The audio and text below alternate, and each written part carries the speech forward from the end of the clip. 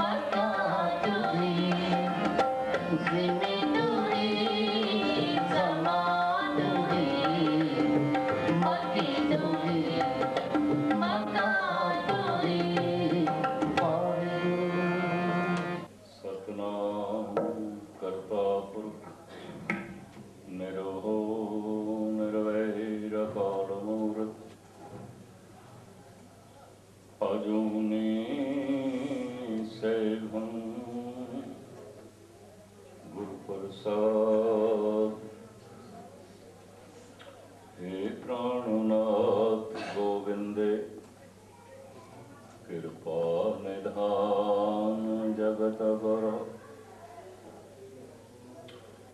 ਹੇ ਸੰਸਾਰ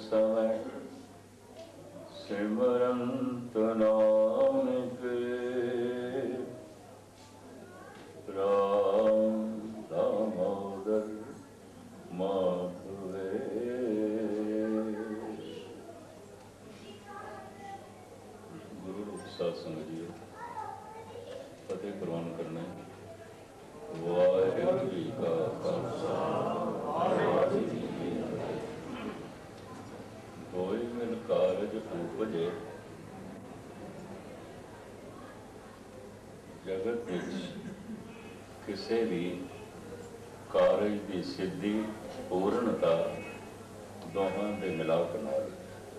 ਦੋਏ ਮਿਲ ਕਾਰਜ ਉਪਜੇ RAM ਨਾਮ ਸੰਗ। ਈਸ਼ਵਰ ਨੇ ਆਪਣੀ ਪ੍ਰਕਿਰਤੀ ਵਿੱਚ ਐਸਾ ਨਿਯਮ ਬਣਾ ਰੱਖਿਆ ਹੈ ਇੱਕ ਵਸਤੂ ਆਪਣੇ ਆਪ ਵਿੱਚ ਕਿਤਨੀ ਗੁਣਵਾਨ ਹੋਵੇ, ਸਮਰੱਥ ਹੋਵੇ ਸ਼ਕਤੀਸ਼ਾਲੀ ਹੋਵੇ, ਉਹਨੂੰ ਆਪਣੇ ਗੁਣ, ਉਹਨੂੰ ਆਪਣੀ ਸ਼ਕਤੀ ਉਸ ਨੂੰ ਆਪਣੀ ਕਲਾ ਪ੍ਰਗਟ ਕਰਨ ਲਈ, ਪ੍ਰਦਰਸ਼ਿਤ ਕਰਨ ਲਈ ਦੂਸਰੇ ਦੇ ਸਹਾਰੇ ਦੀ ਲੋੜ ਹੈ। ਇਹਦੇ ਉੱਤੇ ਜੋ ਧੰਨ ਗੁਰੂ ਗ੍ਰੰਥ ਸਾਹਿਬ ਜੀ ਮਹਾਰਾਜ ਵਿੱਚ ਉਦਾਹਰਣ ਨੇ, ਔਰ ਇਸ ਸੰਬੰਧ ਵਿੱਚ ਜੋ ਭਾਈ ਗੁਰਦਾਸ ਜੀ ਨੇ ਆਪਣੀਆਂ ਵਿਚਾਰਾਂ ਪੇਸ਼ ਕੀਤੀਆਂ ਨੇ, ਉਹ ਮੈਂ ਤੁਹਾਡੇ ਸਾਹਮਣੇ ਰੱਖਣੀ ਹੋਈ ਗੁਰੂ ਨਾਨਕ ਦੇਵ ਜੀ ਮਹਾਰਾਜ ਦਾ ਮਹਾਵਾਕ, ਬਿਨ ਬਾਜੇ ਕੈਸੇ ਨਿਰਤ ਕੋਈ ਮਨੁੱਖ ਬਹੁਤ ਅੱਛਾ ਨਰਤਕ ਹੋਵੇ ਤੇ ਨਰਤ ਕਲਾ ਵਿੱਚ ਸੰਪੂਰਨ ਤੇ ਸਮਰੱਥ ਹੋਵੇ। ਜਿਸੇ ਨਿਤ ਦੀਆਂ ਬਹੁਤ ਸਾਰੀਆਂ ਪद्धਤੀਆਂ ਨੇ ਸਾਡੇ ਦੇਸ਼ ਦੇ। ਉਹ ਹਰ ਤਰ੍ਹਾਂ ਦੀ ਪੱਧਤੀ ਵਿੱਚ ਮਾਹਿਰ ਹੋਵੇ, ਸਿੱਖਿਆ ਹੋਵੇ, ਪਰ ਕਿਸੇ ਵੀ ਨਰਤਕ ਨੂੰ ਨਿਤ ਪ੍ਰਗਟ ਕਰਨ ਵਾਸਤੇ ਤਾਲ ਚਾਹੀਦਾ ਸਾਜ਼ਾਂ ਦੀ ਧੁਨ ਚਾਹੀਦੀ ਅਗਰ ਤਾਲ ਨਹੀਂ ਪੂਰਿਆ ਜਾ ਰਿਹਾ, ਵਜੇ ਨਹੀਂ ਵੱਜ ਰਹੇ ਕਿ ਜੋ ਨੱਚ ਰਿਹਾ ਹੈ, ਤਾਂ ਨੱਚ ਨਹੀਂ ਰਿਹਾ, ਟੱਪ ਰਿਹਾ ਉਹ ਨੱਚਣਾ ਨਹੀਂ ਹੋਵੇਗਾ, ਟੱਪਣਾ ਹੋਵੇਗਾ। ਨੱਚਣਾ ਉਹ ਹੁੰਦਾ ਜਿਹੜਾ ਤਾਲ ਵਿੱਚ